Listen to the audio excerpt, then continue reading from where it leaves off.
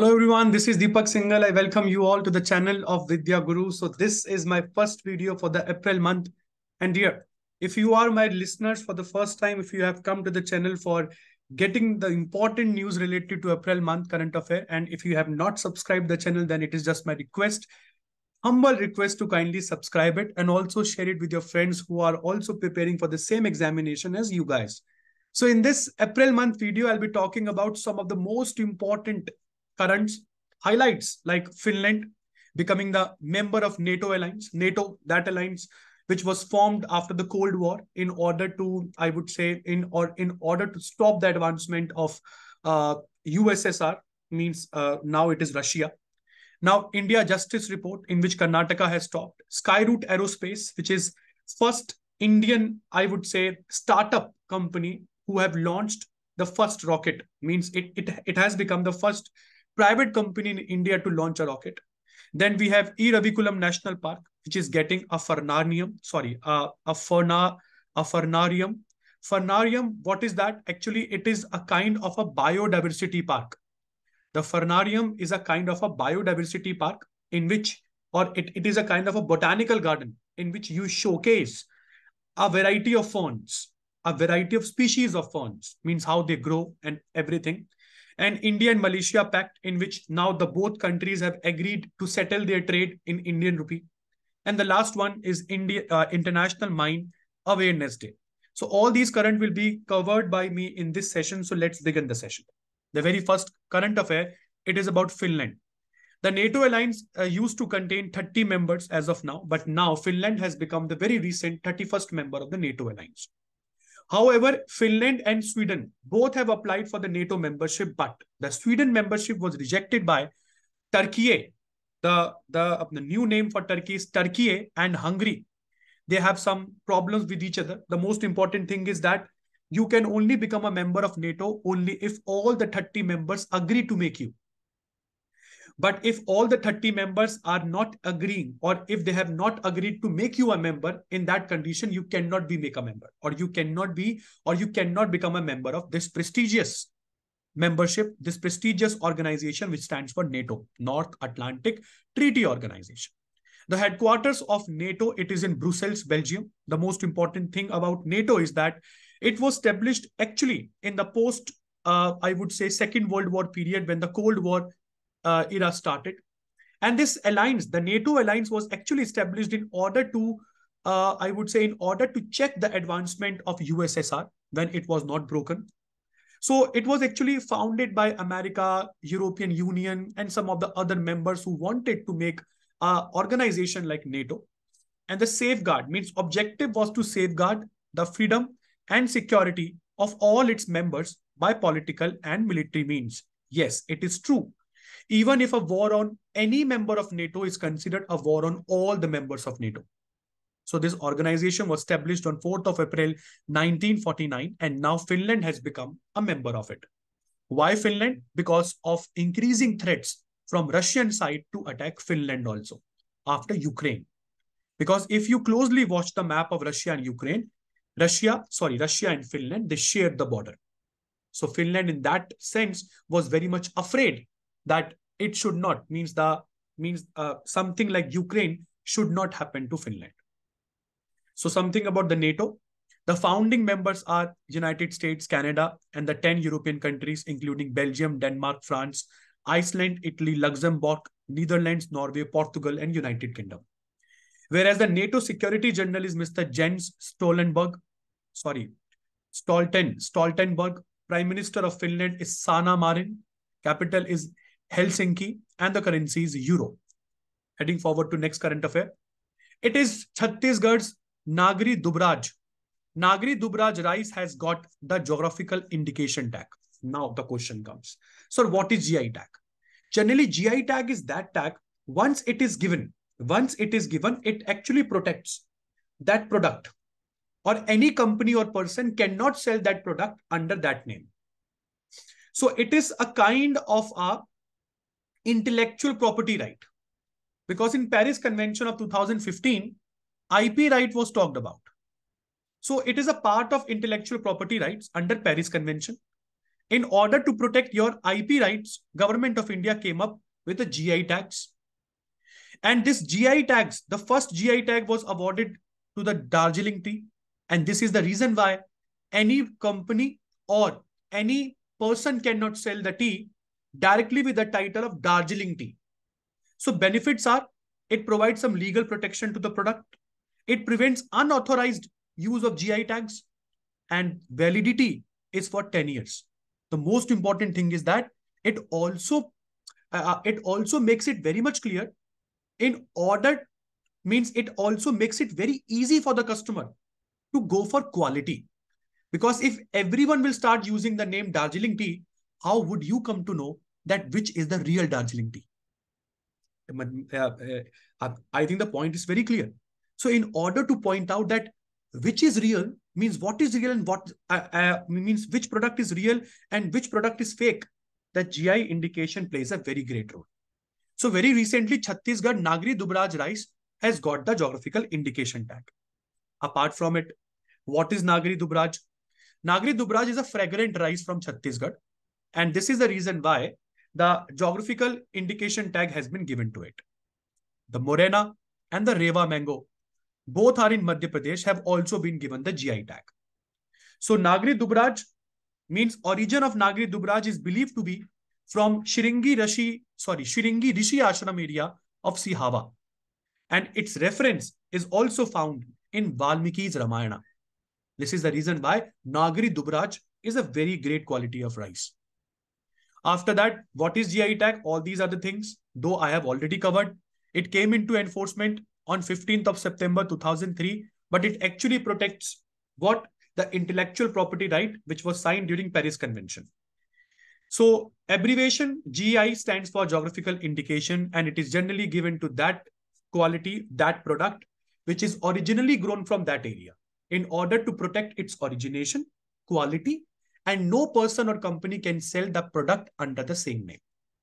India has more than 300 GI tag as of now, and the rules and regulations of GI are governed by World Trade Organization agreement on the trade related aspects of IP rights at the international level. This is very, very important. Means who governs the law of GI? Very important heading forward to next current affair. It is about India Justice Report 2022, in which Karnataka has stopped. And means what is that report? According to India Justice Report 2022, which has been released in New Delhi on 4th of April, Karnataka has topped the list of states and union territories in providing access to justice. So this report generally reads the most important thing that how much access you have got to justice. They have the four parameters like police, judiciary, prisons, and the legal aid. In all these things, Karnataka has topped the union territories and states. Karnataka has ranked first among the 18 large and the medium-sized states with a population of over 1 crore in terms of delivery of justice. Whereas second position is Tamil Nadu, third is Telangana, and Uttar Pradesh is at the 18th position at the bottomest level. Whereas among the small states, Sikkim has topped the list of seven small states, followed by Arunachal at the second number, and Goa is at the most bottomest level. Yes, Goa. India Justice Report. Who launches it? Tata Trust. This report is launched by Tata Trust. This is the third edition of this report, the first being launched in 2019, guys. Heading forward to next important current affair. This is about, finally, a private company, Skyroot Aerospace, who has test fired a 3D printed cryogenic engine. It looks like that. Now the question comes, sir, what is the advantage of cryogenic engine? My dear, the cryogenic engines are those engines which can carry heavy load to the space. And if you all remember, very soon India is going to send astronauts in the space under the mission Gagan Yan, in which for the first time, we guys will be sending some astronauts to the space and the astronauts have been given the name Gagan Yatris.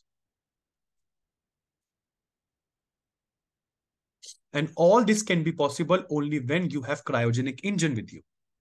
So this aerospace company has test fired a 3D printed Dhawan second engine for the duration of 200 seconds on 4th of April. And it was not the first uh, test fire of this engine. though this company has already tested Dhawan 1 engine back in November 2021. And the achievement comes after the November 2022 when the company also launched Vikram S. Vikram S engine, which has made this company the first Indian private company to send a rocket into the space. So this engine is how much it is important. This is very, very much important whenever it comes to carry some heavy load because they have the cryogenic engine have the higher load capacity. Heading forward to the most important things about Skyroot Aerospace, it is a space tech startup, guys. And why it was found? It was just found to give you some low cost launch solutions in order to reach the space in the shortest time possible. The startup has made three vehicles so far Vikram 1, Vikram 2, Vikram 3, which can carry the payloads ranging from 200 to 700 kg to the low Earth orbit. Guys, we'll be taking a separate class over the missile technology, the rocket science, and we'll also be telling you that there are three kinds of orbits around Earth. Starting from low Earth orbit, then we have medium Earth orbit, and the third one is the higher, sorry, the geostationary Earth orbit, means LEO, MEO, and GEO. Currently, the team of aerospace is uh, testing a 3D printing liquid propellant engine and a fully composite and high performance solid rocket motor. Whereas the headquarters of Skyroot Aerospace is in Hyderabad, Telangana, heading forward to next important current affair. Banarasi Pan. Banarasi Pan also has got the GI tag. It is among the four items to got this special geographical indication tag Apart from Banarasi Pan, three other items from Varanasi region also got the GI tag like Banarasi Langda mango, Ramnagar Bhanta, which is a kind of a brinjal, uh, Adam chini rice. All of these have received the GI tag, whereas the Banarasi Pan is a popular mouth freshener made from betel leaves, betel nut, slaked lime, and many other ingredients. Even this Banarasi Pan is so famous that Amitabh Bachchan also featured a song over it. The inclusion of these four products takes the total number of GI tag from the Kashi region. Kashi is the name also used for Varanasi from the Kashi region alone to 22, which highlights the cultural and the culinary rich heritage of the Kashi Varanasi region. This is how the Banarasi Pan looks like. Now we have the next important news. NASA has announced the four-member team of astronauts to travel to the moon. And these four members are Reid Wiseman, Victor Glover, and Victor Glover is the first black man, I would say first black astronaut to be sent after 50 years gap. Jeremy Hansen and Madam Christina Koch, whereas the Christina Koch will become the first woman to be sent to the moon after the gap of 50 years. And my dear, we also have covered it, it like in our daily sessions where I told you that NASA is also planning in order to revive the Apollo series. NASA started the Apollo series when the NASA started sending some astronauts to moon. And when the craze went out, NASA discontinued the Apollo series. And now NASA is trying to revive the Apollo series with a new name called Artemis. So these four astronauts will be sent to the moon next year under Artemis 2nd for the first time in five decades, means 50 years. NASA announced a team of four astronauts for its human spaceflight mission to the moon. They will fly around the moon for around 10 days next year. Whereas the Reid Wiseman means first time a women astronaut, Christina Koch, will be sent to the moon. He is Victor uh, Glover, means the black astronaut. So ranging from your right, sorry, from your left to right, we have the pilot Victor Glover, means this one. Then we have the commander, right, uh, sorry, Reid Wiseman. Then we have the specialist Jeremy Hansen and Madam Christina Koch. Together, they will become the first people to fly to the moon in more than 50 years.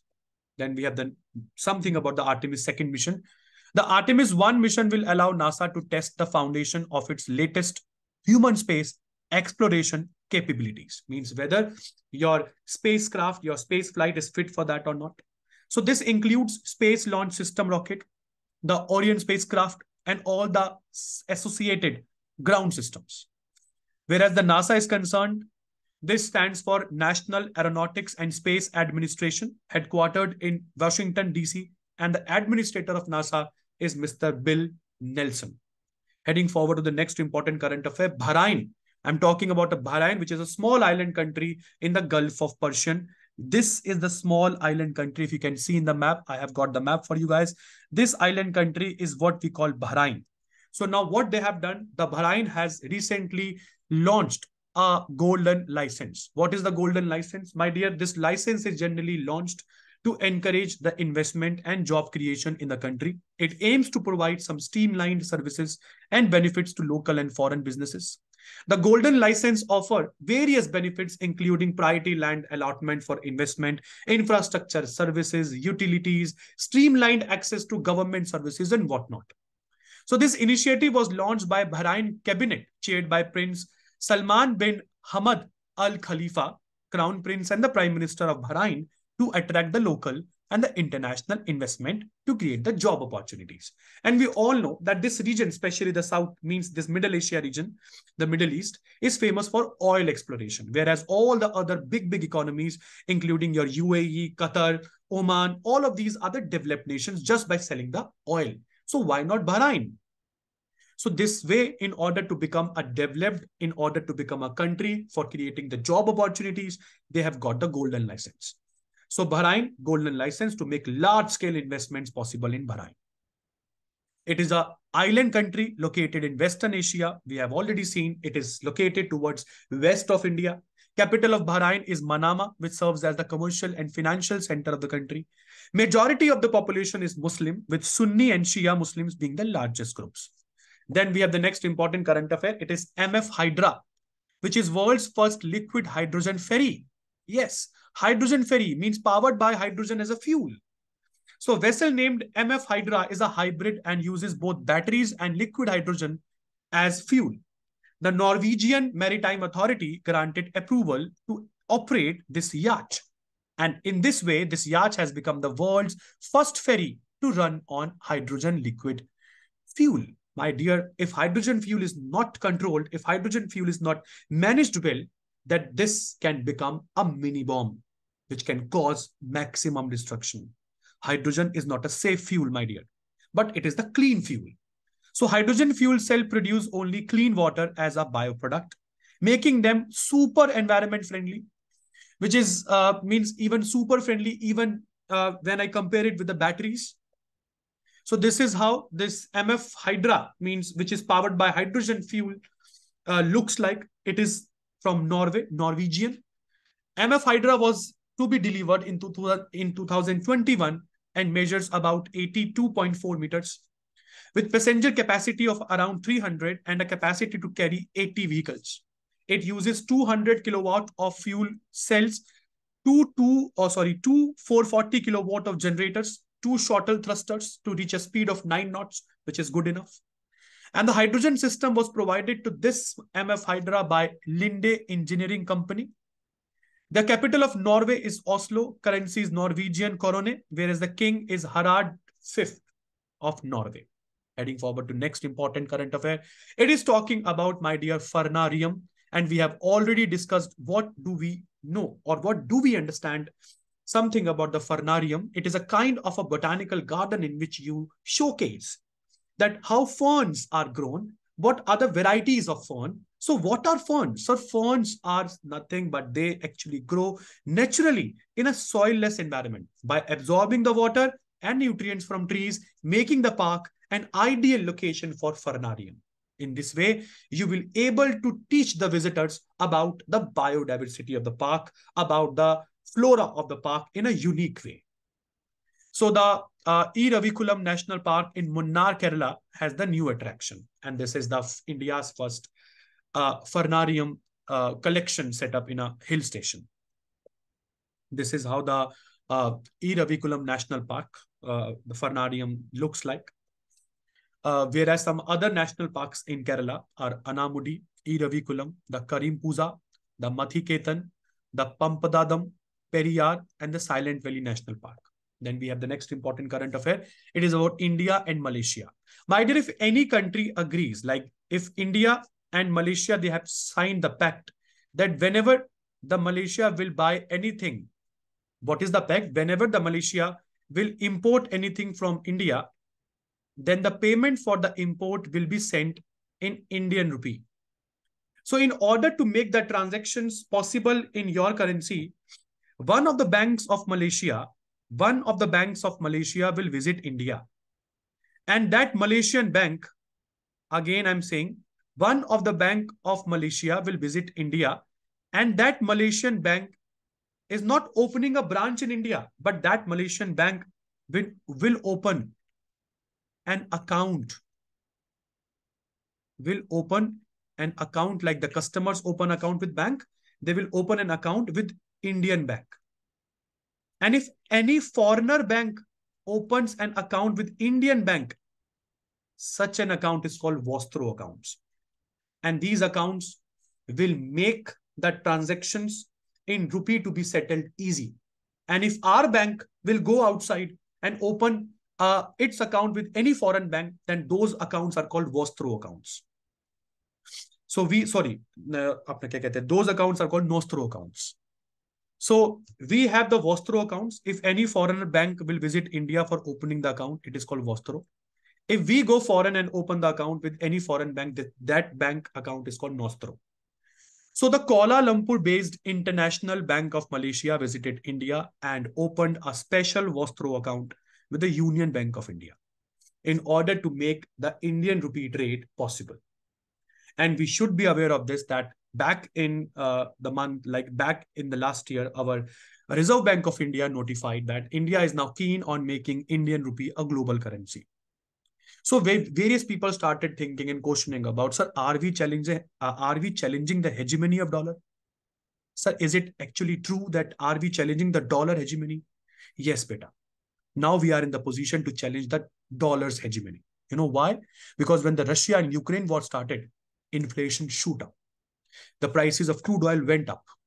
The dollar evaluated. Our rupee devaluated. And because of it, our forex reserve started emptying.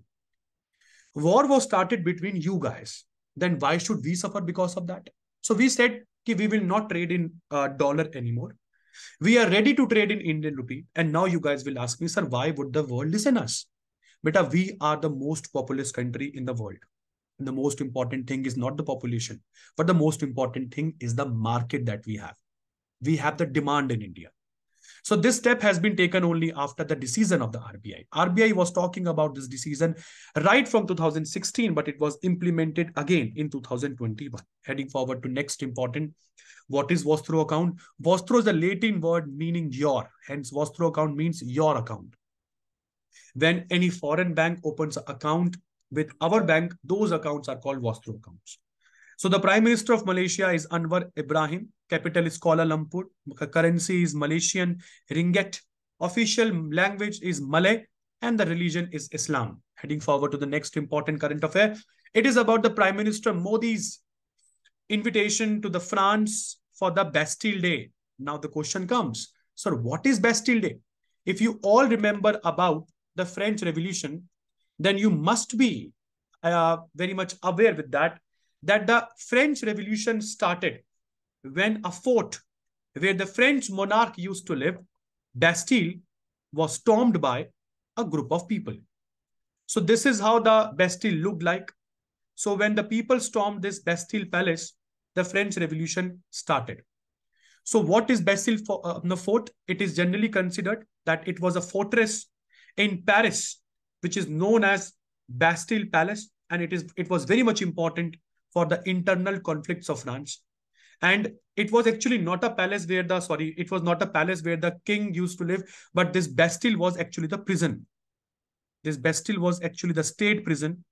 And when this state prison was demolished by a group of people on 14th of July, this date is considered as the date for starting the French Revolution.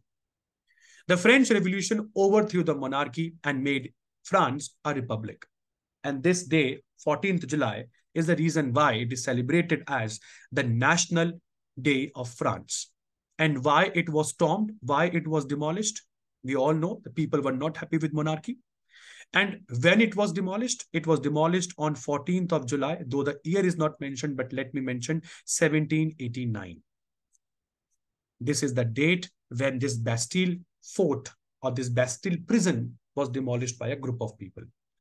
In France language or in French, it is known as Le National or Le 14th Juliet. The day is celebrated with fireworks and parades because they, this day set the example that monarchy is good for nothing. And even in our preamble, the word like liberty, equality, fraternity, these three words we have got from French Revolution. This is how our French means Bastille Day was uh, means participated by our Prime Minister Narendra Modi in such a style. What is Bastille Day? So it was on this Bastille Day, uh, means on 14th July, a Bastille Day parade is celebrated, which is a French military parade held on the morning of 14th July each year in Paris since 1880 onwards. It is one of the oldest regular military parades in the world.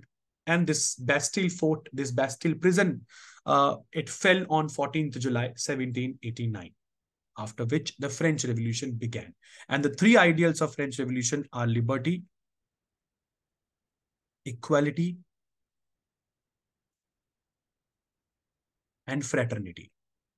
It is generally believed that after the French Revolution, these ideals became so much strong that other European world, means other European countries also started facing some protest from the people which were targeting at overthrow of monarchy and making the country a republican country. Heading forward to the next important current affair, it is a 10th edition of India-Sri Lanka bilateral maritime exercise called SLINEX 2023, which has already begun on 3rd of April. It began in Sri Lanka and Colombo. And the exercise is being conducted in two phases of three days each, the harbor phase and the sea phase. Indian Navy is being represented by INS Kiltan and Savitri, while the Sri Lankan Navy is represented by SLNS Vijayabahu and Samudra. This is the ninth edition of this exercise, which was concluded. Means this is the tenth edition, by the way. Whereas the ninth edition of this exercise was concluded last year on 10th of March in India, in Vishakhapatnam, Bay of Bengal, and now it is being happening in Colombo, uh, Sri Lanka. This is the 10th edition of SLINEX 2023. Next important current affair, it is about Vice Admiral S.J. Singh being appointed as the new Vice Chief of the Indian Navy on 1st of April 2023. Who is uh, uh, S.J. Singh? He stands for Sanjay Jag uh, Singh, uh, who is a distinguished naval officer and a graduate of National Defense Academy, Pune. His contribution to the Navy has been recognized with Nau Sena Medal in 2009 and the Ati Vishisht Seva Medal in 2020.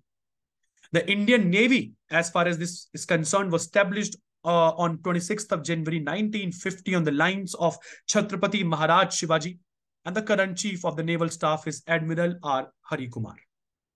This is the Admiral S.J. Singh and the chief of Indian Navy, Hari Kumar, shaking hands with each other.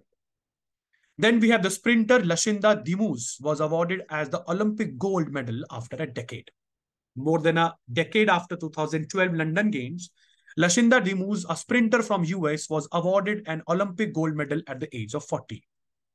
Yes, this was the London Olympics 2012, which held in London, UK from 27th of July till 12th of August 2012. Over 10,000 athletes from 204 National Olympic Committee participated. In this Olympics, United States topped the medal table with 104 medals, including 46 gold, whereas China finished second with 88 medals, including 38 gold, and the Great Britain finished third with 65 medals in total, including 29 gold. Then we have the next important current affair to be Odisha Day, or it is also celebrated as Utkal Day. If you are very good in geography, then you must be getting this, that our eastern coastal plains are means the coastal plains of Odisha are also called as Utkal Coast. The Odishan coast is also called as Utkal coast and the Odisha day celebrated on 1st of April because on the 1st of April back in 1936, the Odisha was founded.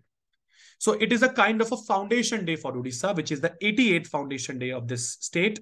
Capital of Odisha is Bhubaneswar, governor is Ganesh, Ganeshi Lal, and the chief minister is Mr. Navni, Navneen, sorry, Naveen Patnaik.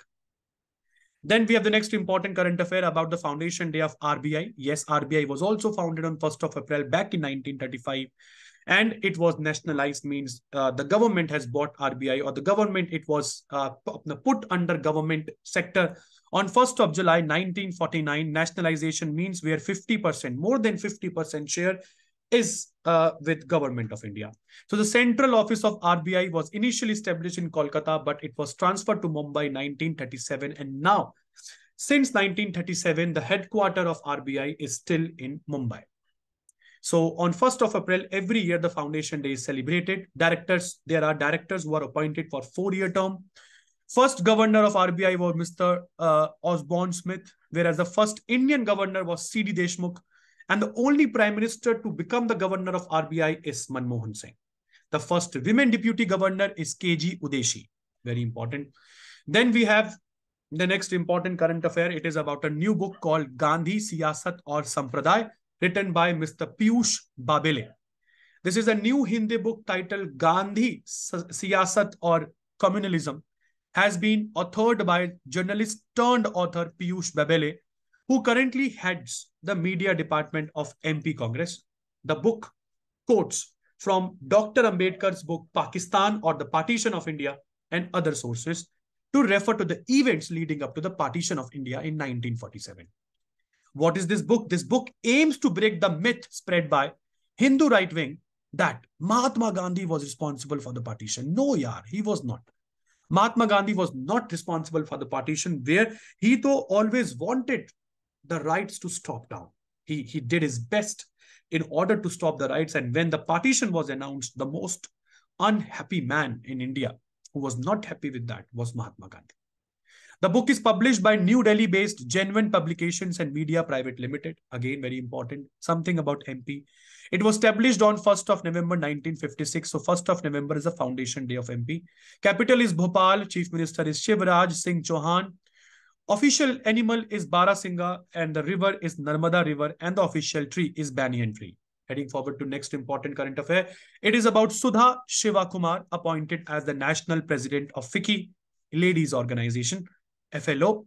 Sudha Shivkumar has been appointed as the 40th national president of FICCI, uh, ladies organization, which is a women-led and women-focused business chamber from Southeast Asia. Who is she? She's an investment banker and lawyer, and his appointment was an, uh, announced on 3rd of April. As national president, Shiv Kumar's main focus will be on empowering the women by creating an enabling environment. Then we have the next important current affair. It is about indigenous anti-tank guided missile Amogha 3 has been tested successfully. Yes, the Bharat Dynamics has successfully conducted a field firing test of third generation anti-tank guided portable missile Amogha 3. Amogha 3 missile has been developed indigenously under the Integrated Guided Missile Development Program which was started by Dr. APJ Abdul Kalam, where the five missiles were started by him. Patna, which stands for Patna, P stands for Prithvi, A stands for Agni, T stands for Trishul, N stands for Nag, and A stands for Akash. So it is under the same program, Amogha 3 has been developed. It is a third generation fire and forget anti-tank guided missile used against the tanks. Amogha 3. It has been tested successfully. Bharat Dynamics, founded in 1970, headquarters in Hyderabad, Chairman and MD is Mr. Siddharth Mishra. Heading forward to the next important current, it is the International Mine Awareness Day celebrated every year on 4th of April, whereas the theme for this year is Mine Action Cannot Wait. It was first celebrated in 2006 by the United Nations General Assembly and something about the United Nations Mine Action Service, which is headquartered in New York, founded in October 1997, and the head is Ilene Cohn. Then we have the last news sorry, last but not the least, because it is not over yet, National Maritime Day, 5th of April, celebrated as National Maritime Day, which begins, actually the celebration begins on 30th March and it ends on 5th of April. And this year marks the 60th anniversary of the National Maritime Day. What is the theme? Theme is Shipping May Amrit Kal, which means golden era in shipping. The World Maritime Day is observed, my dear, on 29th of September, whereas the National Maritime Day is on 5th of April. Again, this is how the National Maritime Day was celebrated, and this is the end of today's bulletin. So guys, if you have liked the session, if you have liked the details shared by me, then kindly like the session. Also subscribe the channel, means towards your right bottom, the bottom right hand side, you will find a subscribe button. And when you will subscribe the channel, the color of the button will change.